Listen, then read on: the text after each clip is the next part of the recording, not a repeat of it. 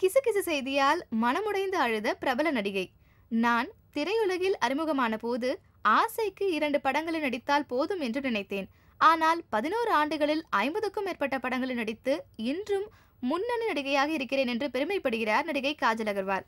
எனக்கு எப்போதும் கதாநாயகியாக நடித்துக் கொண்டிருக்க வேண்டும் என்கிற ஆசை கிடையாது. நல்ல வாய்ப்புகளோ நல்ல வேடங்களோ இருந்தால் மட்டுமே நடிப்பது என்கிற முடிவில்தான் இருக்கிறேன். ஆரம்ப கால சினிமா வாழ்க்கை என்னை ரொம்ப கஷ்டப்படுத்தியது. கிசுகிசு செய்திகளால் மனம் நொந்து பல நேரங்களில் அழுதிருக்கிறேன் என்கிறார் நடிகை காஜல் அகர்வால். தேங்க்ஸ் ஃபார் வாட்சிங் please like and share don't forget to subscribers